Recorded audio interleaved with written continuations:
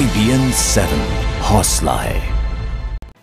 और आइए आपको सीधे लिए चलते हैं मुंबई, जहाँ इस वक्त उद्धव ठाकरे प्रेस कॉन्फ्रेंस कर रहे हैं।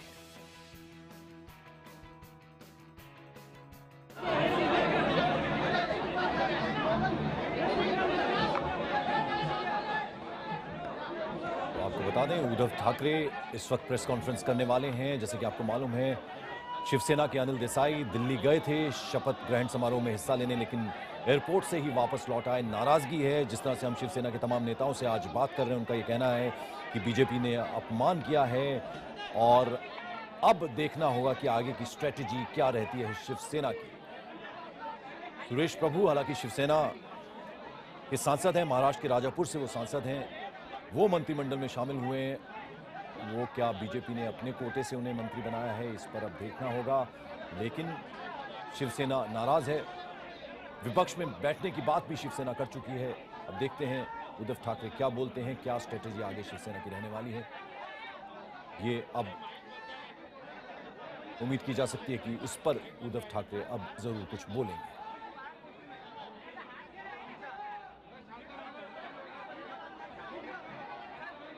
और जैसा कि हम शिवसेना के नेताओं से बात करें तो उनका कहना था कि कैबिनेट बर्थ देंगे, ये बात हुई थी, लेकिन अनिल देसाई को एमओएस बनाने की बात हुई, जिससे नाराज़गी थी।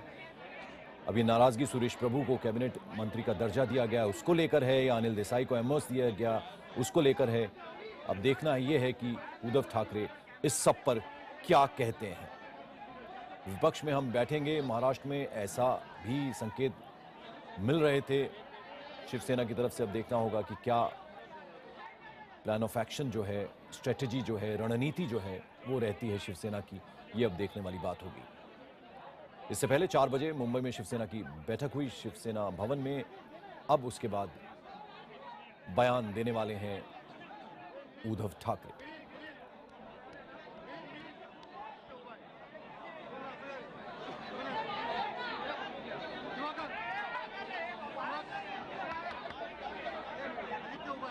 महाराष्ट्र में जैसा कि आपको मालूम है, इस बार अकेले चुनाव लड़ी थी शिवसेना और बीजेपी।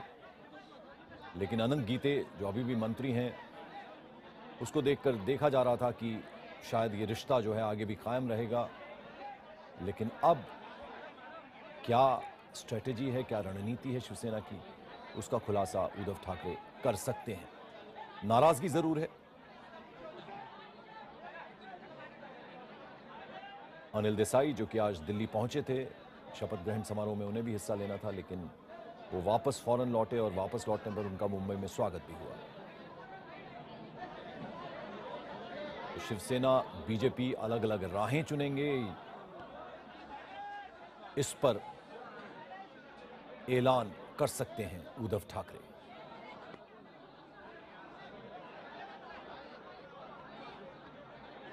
तमाम देश की निगाहें जो हैं वो इस वक्त उद्धव ठाकरे पर लगी हुई हैं कि आगे की रणनीति क्या रहने वाली है शिवसेना की।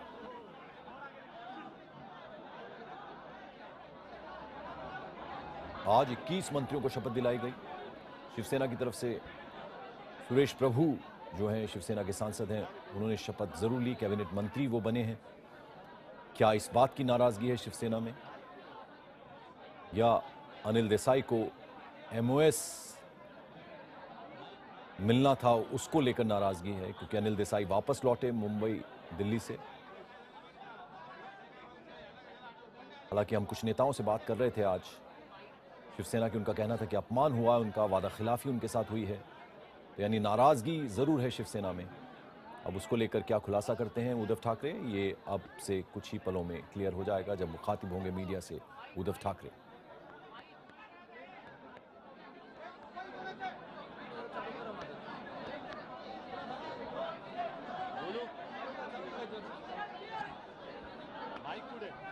चार बजे आज बैठक हुई थी शिवसेना की, उसके बाद अब ये प्रेस कॉन्फ्रेंस है। और मराठी में बोलेंगे या हिंदी में बोलेंगे, ये देखना होगा।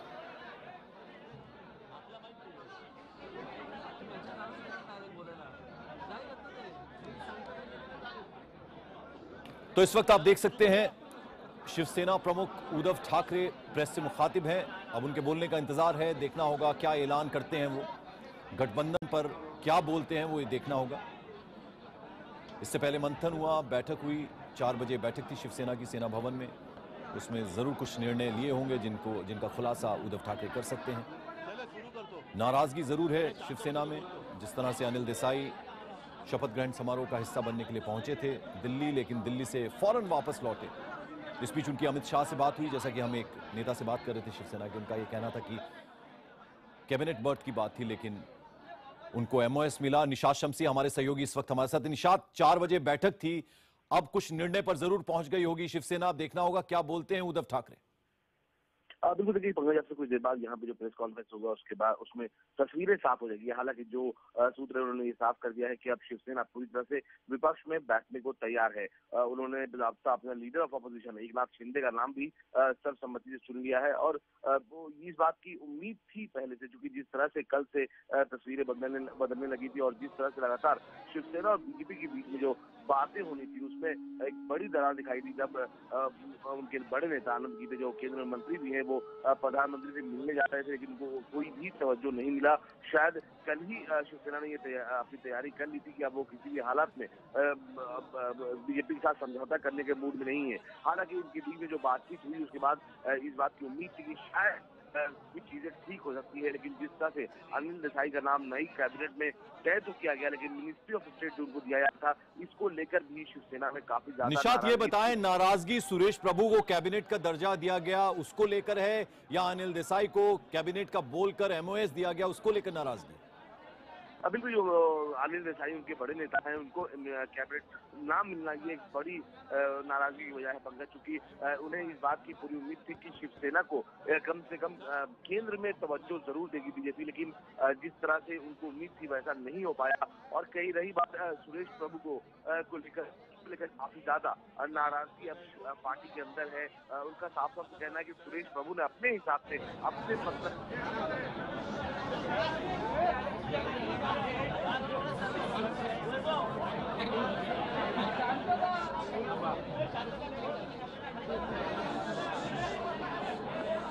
उद्यापासून महाराष्ट्राच्या विधानसभेचं अधिवेशन सुरू होते याच्यामध्ये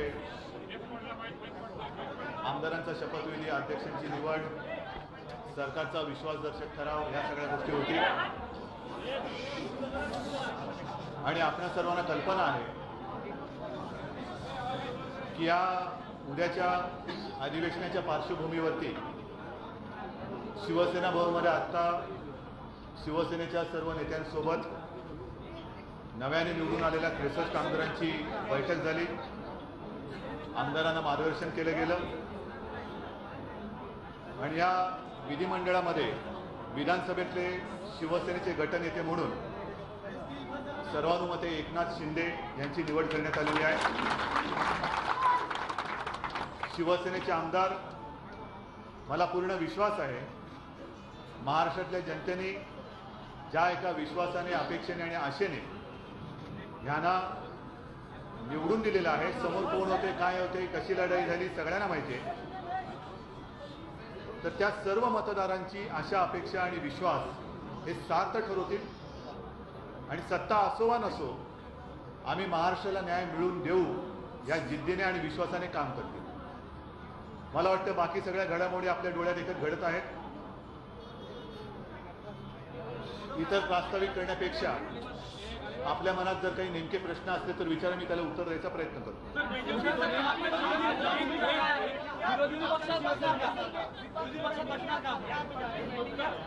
विरोधी पक्षात बसणार का? त्याच्यावरती उत्तर माझं विधानसभेचे अध्यक्ष कोणत्या पक्षाचे असतील कोण असतील त्याच्यावरती ठरवलं जाईल. पेक्षा पेक्षा ह्या देशामध्ये आणि खास करून महाराष्ट्रामध्ये हिंदूंना संपवण्याची भाषा करणारी ताकद ही वाढायला लागलेली आहे. त्याची शक्ती यावेळेला आपल्याला या निवडणुकीत दिसलेली आहे. ही शक्ती देशविघातक शक्ती वाढत असताना हिंदुत्ववादी शक्ती त्याच्यामध्ये विभाजन होऊ नये ही आज सुद्धा शिवसेनेची भूमिका आहे. परंतु शरद पवारांनी आधीच भारतीय जनता पक्षाला पाठिंबा जाहीर केलेला आहे. या देशामध्ये भगवा आतंकवाद हा शब्द मला वाटतं शरद पवारांनी पहिल्यांदा जन्माला घातला. इशरत जहाला सुद्धा निरपराध ठरवणारे शरद पवार आणि त्यांची राष्ट्रवादी पार्टी आहे. तिच्या घरी जाणार सुद्धा राष्ट्रवादीचे आमदार आणि सगळे कार्यकर्ते होते. या राष्ट्रवादीचा पाठिंबा जर का भाजप प्रत्यक्ष किंवा अप्रत्यक्ष घेणार असेल आणि भगवा आतंकवाद हा जो काही शब्द आहे तो बोलणाऱ्यांची साथ ते घेणार असतील तर मला वाटतं त्यांच्यासोबत जाणं आम्हाला कठीण जाईल. आम्हाला अवघड जाईल. आणि मग आम्ही महाराष्ट्रातल्या तमाम मराठी माणसासाठी हिंदूंसाठी जो काही लढा आरंभलेला आहे त्यांना न्याय हक्क देण्यासाठी जे कष्ट शिवसेने घेत आहेत तो आमचा लढा आम्ही चालू ठेवू.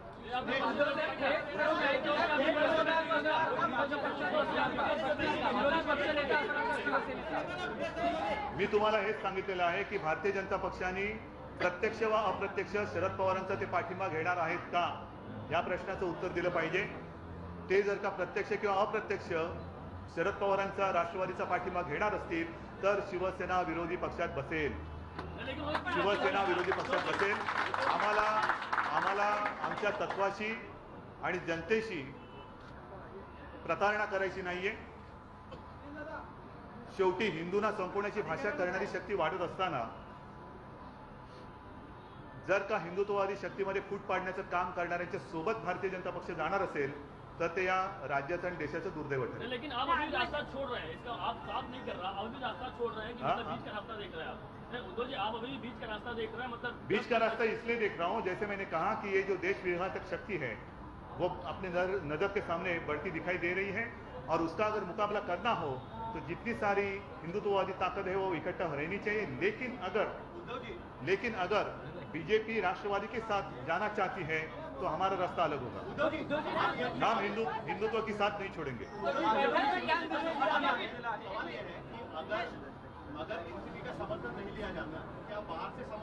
नाही मग त्याच्यावरती त्याच्यावरती कारण आज जो काय आम्हाला अनुभव आलेला आहे शेवटी थांबण्याचा शेवटपर्यंत थांबण्याचा मी प्रयत्न केला. पण शिवसेनेचा आणि महाराष्ट्राचा अपमान करून जर का आम्हाला सत्तेत सहभागी व्हायचं असेल तर आम्ही ते घेणार नाही. सत्तेत सहभागी होणार नाही. आम्ही विरोधी पक्षात बसू पण वाटेल ती लाचारी करून त्या सत्तेत जाणार नाही.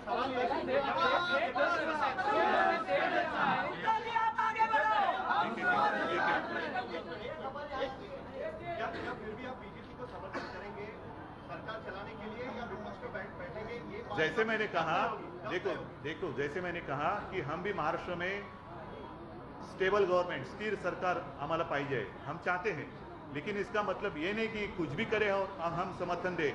महाराष्ट्र तोड़ने की बात करे और हम समर्थन दे। मुंबई तोड़ने की बात करें हम समर्थन दे। भगवा आतंकवाद कहने वाले साथ रहे और हम समर्थन दें ये संभव नहीं है। आज तो हमने हमारा गठ गठ नेता जो है वो डिक्लेयर किया है। दो दिन अभी बाकी है। कल तो सारे विधायक है नए जो चुने गए विधायक है वो अपनी शपथ ग्रहण करेंगे। परसों के दिन शायद अध्यक्ष जी का चुनाव होगा और उसके बाद पता चलेगा। लेकिन मैं यही कहता हूँ, अगर हमें हमें मंजूर नहीं होगी, ऐसी कुछ बात होगी तो हम विपक्ष में बैठेंगे और हम जनता के साथ रहेंगे।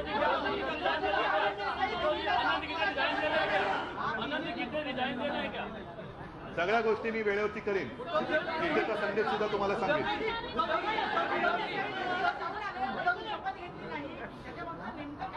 नेमकं कारण हेच आहे की आम्ही त्यांना सांगितलं होतं की बाबा केंद्रामध्ये आम- तुम्ही आम्हाला सोबत घ्यायला मागता आहात पण राज्यामध्ये नातं कसं असेल? नाहीतर आज ते हास्यास्पद झालं असतं की केंद्रात आजच नेमका शपथविधी होता आणि केंद्रात आम्ही शपथ घेतो आणि राज्य आपलं वाऱ्यावर सुटले तसं नाही. राज्यामध्ये सुद्धा नातं कसं असायला पाहिजे कसं असेल याचं स्पष्टीकरण स्पष्ट उत्तर आम्हाला पाहिजे.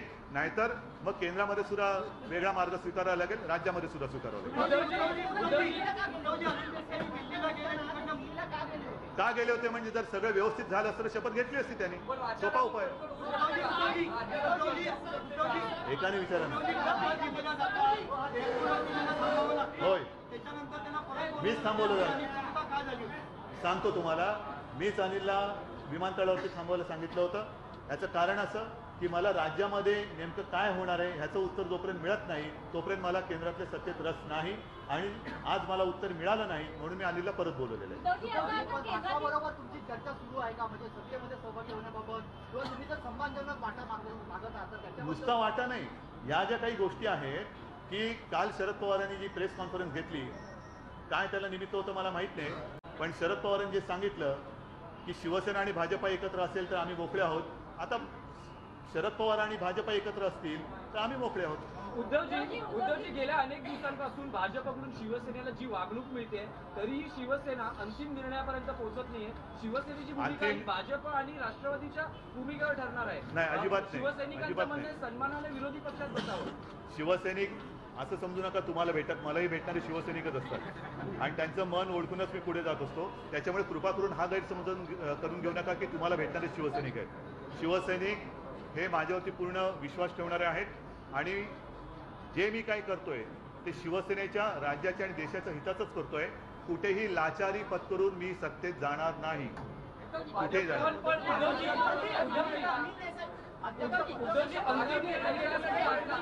अंतिम अंतिम निर्णय म्हणजे आज मी गटनेता जाहीर केलेला आहे.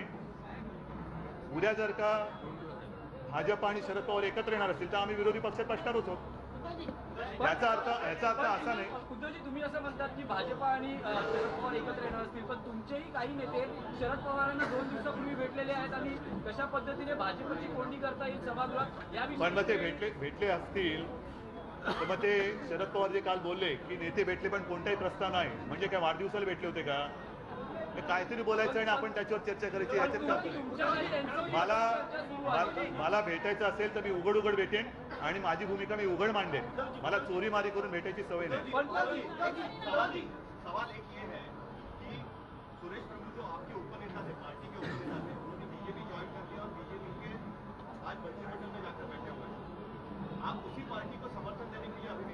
नाही। एक दूसरा अगर अनिल देसाई दिल्ली जाकर भी शपथ ना लेते हुए वापस वो मैंने कहा है। जी जी। तो आपके दूसरे जो मंत्री हैं केंद्र में उनका आप बारे में कुछ फैसला लिया है? ज़रूर सारी बातों का सारे सवालों का जवाब मेरे पास है। पहले जो सवाल सवाल आपने किया पहला जो सवाल किया उसका उत्तर यही है कि आज भी मुझे वो दिन याद है जब अटल जी की सरकार पहली बार आई थी, तेरह दिन की वो सरकार थी। और अटल जी का फ़ोन आया था बाला साहब को कि बाला साहब, आपकी ओर से आप किसे मंत्री बनाना चाहते हो?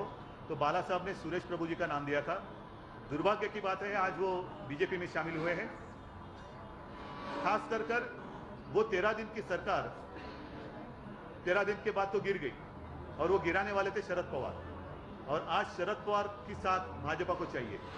और इसीलिए जैसे सवाल आप मुझे पूछ रहे हैं वैसा ही सवाल आप बीजेपी को भी पूछिए। मुझे कोई जल्दी नहीं है और ना ही कोई ज़रूरत है ना ही मेरी मजबूरी है। मैं तो अकेला चलो रे आज तो चलता आया हूँ आगे भी जा सकता हूँ। सिर्फ़ ये हर एक की नीति कैसी है वो साफ़ दिखाई दे रही है। अगर भारतीय जनता पार्टी जिन्होंने जिस शरद पवार जी ने अटल जी की सरकार उस वक्त गिराई थी वो गोमांगो ने विरो, विरोधी मत दिया था। तो वो अगर उनके साथ निभाना चाहते तो निभाएँ। हम अपना रास्ता हम आगे काँग्रेस राष्ट्रवादी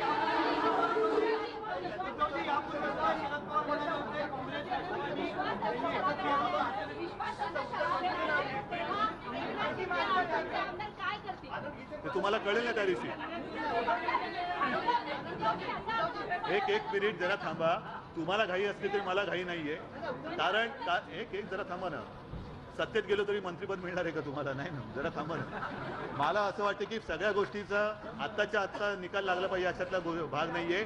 तुम्हाला जो शेवटचा प्रश्न होता साहिल. नाही त्याचा शेवटचा प्रश्न. हा गीतेचा संदेश सुद्धा काय आहे तो तुम्हाला लवकर कळेल.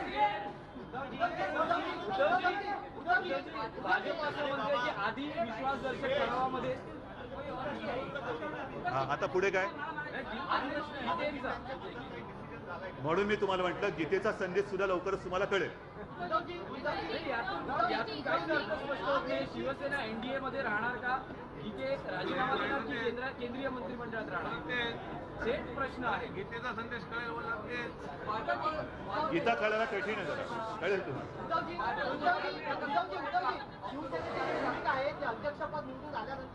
नाही एक एक मिनिट तुम्हाला स्पष्ट सांगतो. याच्यामध्ये आजपर्यंत जे आम्ही निर्णय घेतलेले आहेत ह्याचा अर्थ स्पष्ट आहे की आम्ही सत्तेला लाचार नाही. केवळ आणि केवळ केवळ आणि केवळ एका गोष्टीसाठीच थोडा जो काही मी तुम्हाला संयम दाखवतोय असं वाटतं तो एवढ्यासाठीच आहे की महाराष्ट्रामध्ये हिंदूंना संपवून टाकणारी शक्ती या निवडणुकीमध्ये त्यांनी डोकं वर काढलेलं आहे. आणि तिचा बंदोबस्त करण्याची आज गरज आहे. केवळ त्याच्यासाठी हिंदुत्ववादी शक्तींचं विभाजन होऊ नये ही आमची आज सुद्धा एक अपेक्षा आहे. दुर्दैवाने जर का ते विभाजन झालं तरी शिवसेना हिंदुत्व सोडणार नाही हिंदूंची बाजू सोडणार नाही. शिवसेना ही कट्टर प्रखर हिंदुत्ववादी शिव संघटना शिवसेना म्हणून काम करेल. त्याच्यामध्ये दुमत राहणार नाही. आणि अशा वेळेला जर भारतीय जनता पक्ष हे हिंदू आतंकवाद भगवा आतंकवाद मानणाऱ्या शरद पवारांसोबत जाणार असेल तर आम्ही विरोधी पक्षात बसू. आणि म्हणून पुढचा हा काळ जो आहे तो सरकारमध्ये बसणार की नाही एवढ्या पुरतं या प्रश्नाचं उत्तर मर्यादित नाही. पक्ष दोन पक्ष हे हिंदूंच्या बाजूनी जाणार की हिंदुत्वाच्या विरोधात जाणार त्याचं उत्तर देणार हे प्र उत्तर मागणार हे प्रश्न आहेत. आणि जसं मी उत्तर दिलंय तसं भारतीय जनता पक्षाकडनं सुद्धा याचं उत्तर मला अपेक्षित आहे. माझ्या पक्षाचा निर्णय घ्यायला मी मोकळा आहे. तो निर्णय मी आत्ताही घेऊ शकतो आणि उद्याही घेऊ शकेन.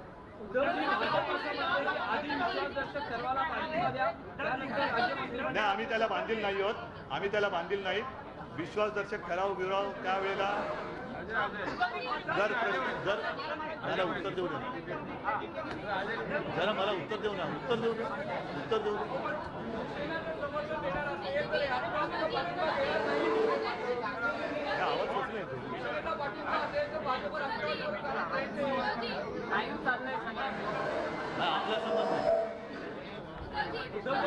एक एक मिनिट याचा प्रश्न उत्तर आहे की भाजपचं म्हणणं आहे आधी विश्वासदर्शक ठरावाला नाही अजिबात नाही. अजिबात नाही. आम्ही मंत्रिपदासाठी लाचार नाही. आधी महाराष्ट्राचं चित्र स्पष्ट झालं नाही तर शिवसेना विश्वासदर्शक ठरावाच्या विरोधात मतदान करेल आणि शिवसेना विरोधी पक्ष म्हणून पुढची जी काय कारकीर्द भाजपा सरकारची असतील त्या कारकिर्दीत शिवसेना विरोधी पक्षाचं काम करेल. पण आम्ही जनतेला जनतेशी प्रतारणा करणार नाही. उद्धवजी उद्धवजी लेकिन लेकिन ये बात बताइए कि एनसीपी आप कह रहे हैं कि एनसीपी समर्थन देगी तो आप नहीं जाएँगे बीजेपी के साथ? मैंने दो तीन- दो तीन- अगर खुद से जाते हैं बीजेपी के साथ तो एनसीपी के समर्थन की बात ही नहीं आती है। तो आप खुद से क्यों नहीं जा रहे? नहीं खुद से क्यों जाऊँ मैं? बिन बुलाए बिन बिन बुलाए मेहमान नहीं मैं बिन बुलाए मेहमान जैसे एनसीपी बन रही वैसे मैं नहीं बनूँगा। कोई मा, तू मान न मान मैं तेरा मेहमान। ये नीति मेरी नीति नहीं हो सकती।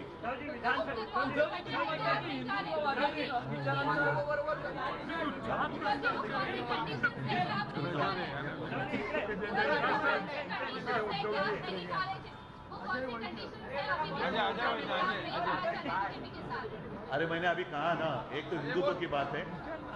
हिंदुत्व की बात है मैंने उत्तर दिया है।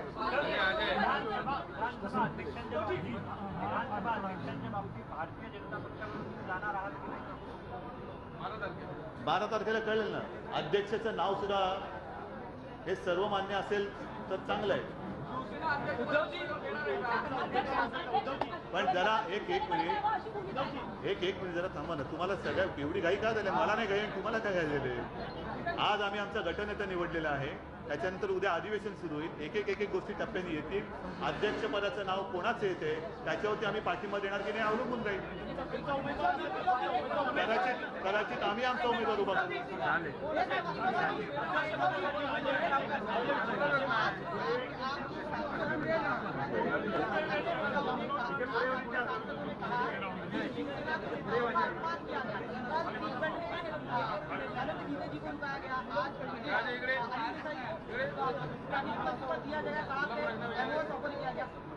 सुनो सुनो सुनो सुनो। सिर्फ़ सिर्फ़ एमओएस की बात नहीं थी। मैंने जैसे कहा कि पहले मेरी शर्त थी कि महाराष्ट्र का चित्र कैसे होगा। ये जब तक स्पष्ट नहीं होता है, तब तक आज मैंने उनको कहा था कि मेरा सांसद आपके मंत्रिमंडल में शामिल नहीं होगा। और इसीलिए अनिल देसाई जी वहाँ पहुँचे थे और वहां से मैंने उसको वापस बुलाया. उद्धवजी वगैरे काय झालेलं नाही राष्ट्रवादी काँग्रेसने सर्वप्रथम भूमिका जाहीर करून दोन हिंदुत्ववादी पक्षांमध्ये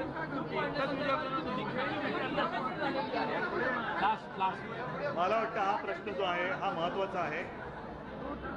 आणि जर का आपण असं मानलं तर जे मी बोलतो आहे ते भाजपला मान्य आहे का? म्हणून काही प्रश्नांची उत्तरं जशी तुम्ही माझ्याकडे मागता आहात तसे काही प्रश्न तुम्ही भारतीय जनता पक्षाला विचारलं पाहिजे.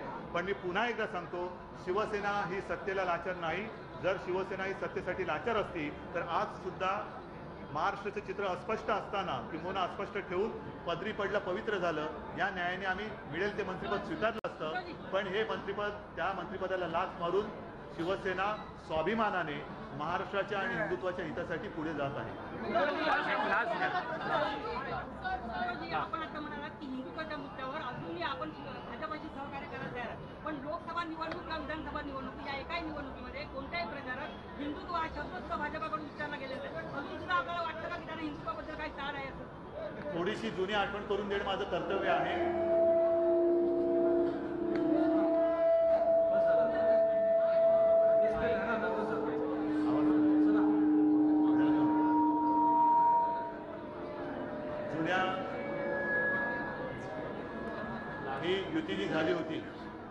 ही युती सत्तेच्या राजकारणासाठी नव्हती तर हिंदुत्वासाठी होती. आणि त्याची आठवण करून देणं माझं कर्तव्य आहे. जर का त्या आठवणीने ते पुन्हा हिंदुत्वाच्या वळणावरती आले तर ठीक आहे. नाहीतर आम्ही आमचा हिंदुत्वाचा रस्ता सोडणार नाही.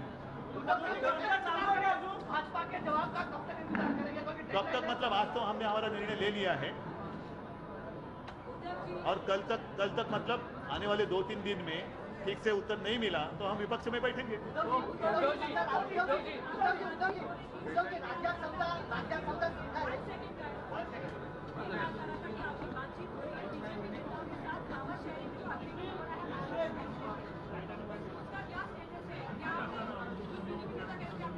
कुछ रास्ता कुछ रास्ता निकला नहीं है। अगर निकला होता तो आज हम सत्ता में होते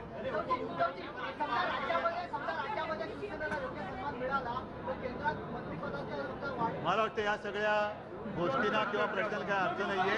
हे जरतरच्या याला गोष्टीचं काय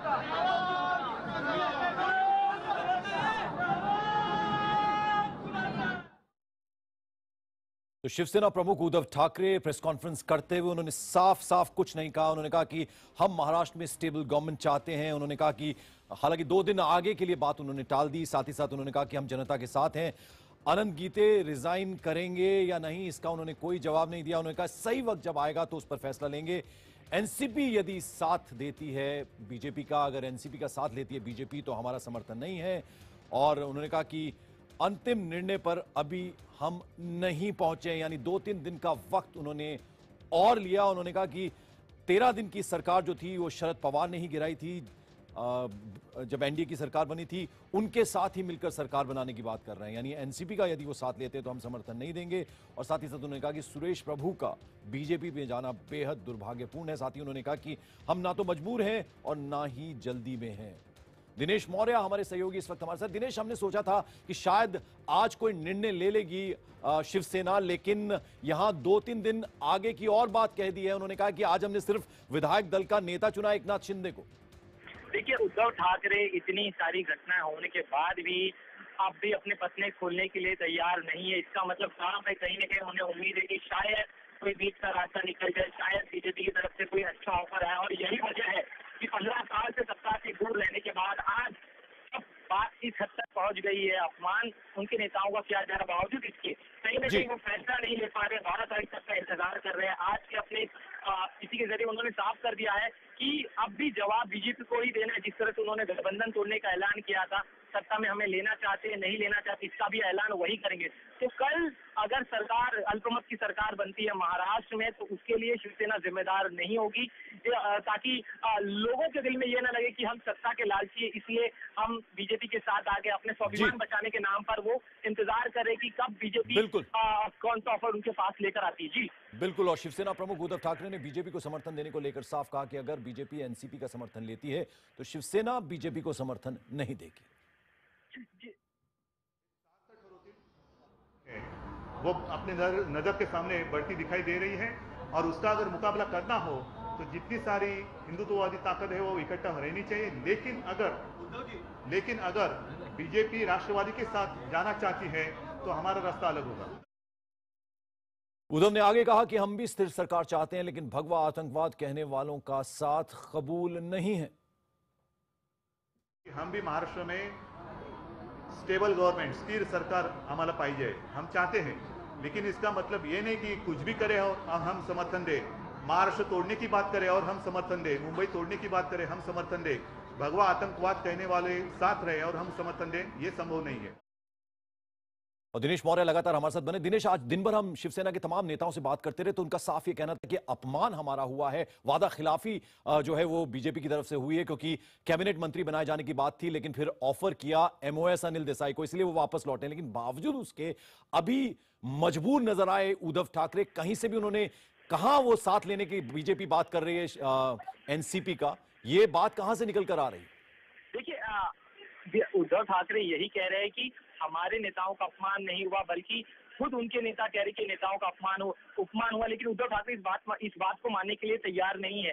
बस उद्धव ठाकरे ये चाहते हैं कि अगर सरकार बनाना है तो बीजेपी खुद चलकर हमारे पास है हम उनके पास नहीं जाएँगे। एक दूसरा, कि अगर शरद पवार की मदद से बीजेपी महाराष्ट्र में सरकार बनाती है तो लॉन्ग टर्म के हिसाब से शिवसेना को इसका फ़ायदा हो सकता है। और इसी अपने पूरे प्रेस कॉन्फ्रेंस के दौरान इसी मुद्दे को बार बार ज़ोर देकर कह रहे थे बीजेपी अपना पक्ष साफ़ करे तो कुल मिलाकर सत्ता में आती है तो शिवसेना अपने शर्तों पर जाएगी। एक दूसरा अगर नहीं बनते विपक्ष में बैठने की नौबत आती है तो उसके लिए भी शिवसेना खुद जिम्मेदार जनता की नज़रों में नहीं बनना चाहती तो कुल मिलाकर लाचारी उनकी साफ़ दिख रही है। वो अब भी इंतज़ार करे कि शायद बीजेपी की तरफ़ से कोई प्रस्ताव उनके पास आए जिसको लेकर वो अपनी तरफ़ से जवाब दे पाए जी पंकज। दिनेश ये जो लाचारी और मजबूरी शब्द आप इस्तेमाल कर रहे हैं हम इस्तेमाल कर रहे हैं इसके पीछे असली वजह क्या है शिवसेना के लिए?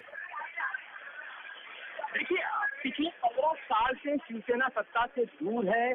ऐसे में एक शिवसेना का धड़ा चाहता है कि सत्ता में शामिल हो जाए, लेकिन दूसरा एक धड़ा चाहता है कि स्वाभिमान के नाम पर और पाँच साल का इंतज़ार किया जाए। इसी वजह से उद्धव ठाकरे भी असमंजस में वो इंतज़ार कर रहे हैं कि आ, उनकी शर्तों पर बीजेपी उन्हें सरकार में शामिल आ, होने दे। और यही वजह कि अब तक वो फैसला नहीं ले पाए हैं लेकिन आज की विधायक दल के मीटिंग में जिस एकनाथ शिंदे को सुना गया है अगर बात नहीं बनती है तो नेता विपक्ष शिवसेना की तरफ़ से एकनाथ शिंदे ही होंगे।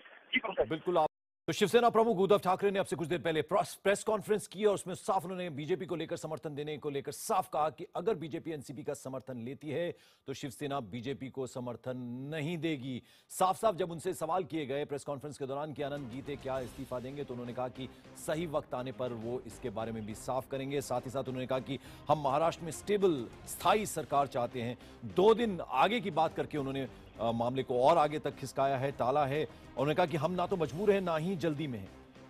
और जब उनसे कहा गया कि वो बीजेपी के पास क्यों नहीं जाते समर्थन के लिए तो उन्होंने कहा कि वो खुद से नहीं जाएँगे। बीजेपी का साथ देने की बात उन्होंने जब ये कहा और साथ ही साथ उन्होंने कहा कि भगवा आतंकवादी कहने वालों के जो हैं वो खिलाफ हैं और साथ ही साथ उन्होंने कहा कि अभी तक हम अंतिम निर्णय पर नहीं पहुँचे। हमारे deputy managing editor Sumit Awasthi वक्त हमारे साथ जुड़ रहे हैं। सुमित, किस तरह से देखा जाए? कहाँ तो ये उम्मीद की जा रही थी कि आज जो है वो विपक्ष में बैठने की बात करेंगे, कुछ और करेंगे, लेकिन उन्होंने फिर दो दिन आगे का और वक्त मान लिया और कहा है कि हमने तो सिर्फ़ विधायक दल का नेता आज चुनना था, सो हमने चुन लिया। देखिए महाराष्ट्र विधानसभा का सत्र कल से शुरू हो रहा है। कल शपथ होगी और परसों वहाँ पर विधानसभा का अध्यक्ष चुना जाना है। उसमें तस्वीर साफ़ हो जाएगी कि बीजेपी क्या एनसीपी के साथ मिलकर वो संख्या पाती है, जिसके ज़रिए वो अपने अपने आप का मेजोरिटी सदन में दिखा पाए। वो बहुत ज़रूरी डेवलपमेंट होगा। और अगर ऐसा होता है तो ज़ाहिर तौर पर ये साफ़ हो जाएगा कि शिवसेना और बीजेपी के बीच रिश्ते खत्म हो गए। तो ये अब तक का सबसे बड़ा, आप कह सकते हैं कि एक टाइम दिया है शिवसेना की तरफ़ से बीजेपी को, कि एक आखिरी मौका है सोच लो, विचार लो, वरना ये 25 साल पुरानी दोस्ती खत्म हो जाएगी। शिवसेना ये ब्लेम नहीं लेना चाहती है कि हमने इस गठबंधन से किनारा किया या इस गठबंधन को तोड़ा है। हम आखिर तक कोशिश करते रहे। आज की उद्धव ठाकरे की बातचीत को सुनने के बाद यही लगता है कि ये एक और आखिरी मौका देना चाहते हैं, क्योंकि शिवसेना को भी सत्ता की उतनी ही ज़रूरत है जितनी बीजेपी को। शिवसेना पिछले पंद्रह साल से विपक्ष की भूमिका में रही, विपक्ष में रही महाराष्ट्र में। अब की बार उसको मौका मिल रहा है सत्ता में आने का। शिवसेना चाहती है कि उसकी बातें, उसकी मांगे पूरी तरीके से बीजेपी मांग ले। लेकिन दोनों के बीच ईगो की लड़ाई, अहम की लड़ाई इस हद तक आगे बढ़ चुकी है पंकज, कि कोई भी पीछे छूटना नहीं चाहता है। इसीलिए अगर बीजेपी एनसीपी की मदद से विधानसभा अध्यक्ष बनवा लेती है तो कम से कम ये कहने को होगा कि बीजेपी ने एक करप्ट पार्टी का साथ लिया और अब हम इनके साथ नहीं रह सकते हैं। आज के टोन और जो टेनर था उद्धव ठाकरे का वो साफ़ तौर पर दिखाता है कि वो बीजेपी को एक आखिरी मौका दे रहे हैं कि सोच लो कि आप किसको अपना साथी चाहते हो। बहुत बहुत शुक्रिया सुमित अवस्थी तमाम बताने के लिए जानकारी देने के लिए आपका